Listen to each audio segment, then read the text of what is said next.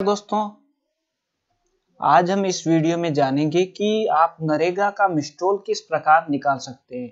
बहुत बार आपकी यदि कुछ नरेगा का कार्य चल रहा है, या फिर आपके टाका निर्माण हो रहा है, या इंदिरावास का निर्माण हो रहा है तो उसमें नरेगा जॉब कार्ड पर हाजिरियाँ भरी जाती हैं। तो वो हाजिरियाँ कभी कभार हमारा जो लेबर होती है, वो भरती है, या फिर ग्राम पंचायत की तरफ़ से भरी जाती है। तो उसमें हम किस प्रकार पता कर सकते हैं कि हमने जो नाम दिए हैं, उनकी हाजिरियाँ भरी हैं या किसी और इंसान की हाजिरियाँ भर दी गई है?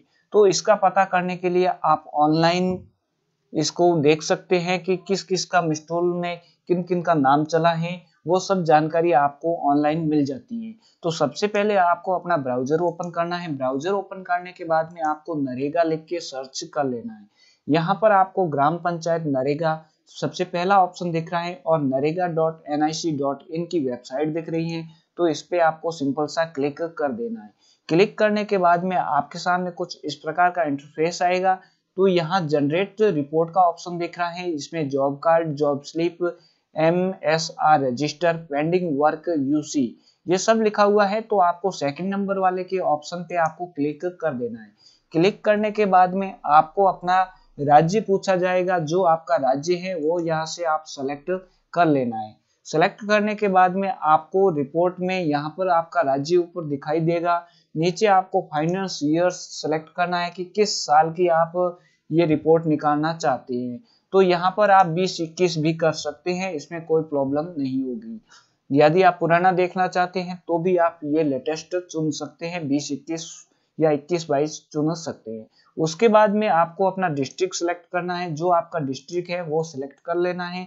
उसके बाद में आपको अपनी तहसील या ब्लॉक यहाँ से सिलेक्ट कर देना है। उसके बाद में यहाँ पर आपके ग्राम पंचायत, जो आपकी ग्राम पंचायत है, वो सिलेक्ट कर देनी है और नीचे प्रोसेड का ऑप्शन दिख रहा है। इस पे आपको क्लिक कर देना है। क्लिक करने के बाद में कुछ इस प्रकार का इंटरफेस दिखाई देगा। तो यहाँ पर आपको पहला option R one job card registration है तो इसमें आपको चार नंबर का ऑप्शन लेना है जॉब कार्ड एम्प्लॉयमेंट रजिस्टर इस पे आपको सिंपल सा क्लिक कर देना है। क्लिक करने के बाद में, यहाँ पर आने के बाद में आपको अपने गाँव के पूरे जॉब कार्ड दिखाई देंगे। तो यदि आपको अपना जॉब कार्ड नहीं मिल रहा है तो आप अपना job card number control app की वजह लगाकर ढूंढ सकते हैं। उसके बाद में आप अपना, जैसे कि मान लीजिए कि आपका जॉब कार्ड संख्या मिल गया है तो यहाँ पर ये ब्लू अक्षर में लिखा हुआ है, इस पे आपको क्लिक कर देना है। क्लिक करने के बाद में आपको नीचे आ जाना है। नीचे आने के बाद में आपको यदि जो भी आपका ये ब्लू अक्षर में नाम वर्क नेम लिखा है वर्क नेम पर आप क्लिक कर सकते हैं। तो ये वर्क इस वर्क में जितने भी मिस्टोल चले हैं, वो सब ओपन हो जाएँगे। और यदि आप डायरेक्ट मिस्टूल खोलना चाहते हैं तो यहाँ पर जो ये एम एस आर नंबर है इस पे आप क्लिक करके खोल सकते हैं। तो मैं यहाँ पर ये, इस पे क्लिक करता हूँ। इस पे क्लिक करने के बाद में इस वर्क पर जितने भी ये मिस्टूल चले हैं, ये सब यहाँ पे आपको शो कर रहे हैं। यदि मैं इस कोई भी एक नंबर पे क्लिक करता हूँ मिस्टूल पे क्लिक करता हूँ तो वो मिस्टूल हमारे सामने ओपन हो जाता है।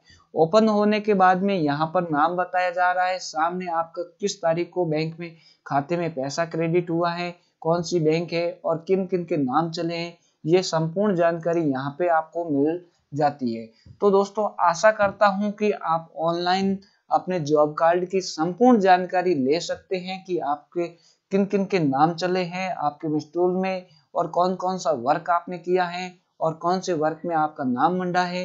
वो सब जानकारी यहाँ पे आपको ऑनलाइन मिल जाती है। तो दोस्तों, ये था आज का वीडियो। वीडियो अच्छा लगा है तो लाइक करना चैनल को सब्सक्राइब करना। मिलते हैं अगले वीडियो में। जय हिंद, जय भारत।